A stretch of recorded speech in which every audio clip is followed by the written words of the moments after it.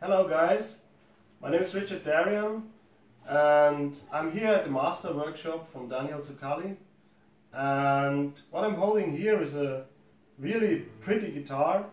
It's a jazz guitar with nylon strings and with fan fret.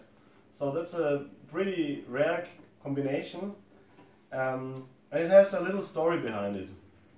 Last year Daniel had a client who asked him to build such a guitar and then Daniel called me and said, do you have any suggestions or what would you like to have if you would order this guitar?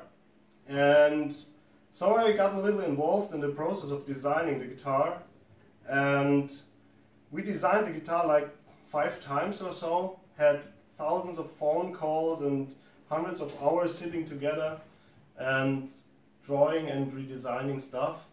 And yeah, that's the finished product.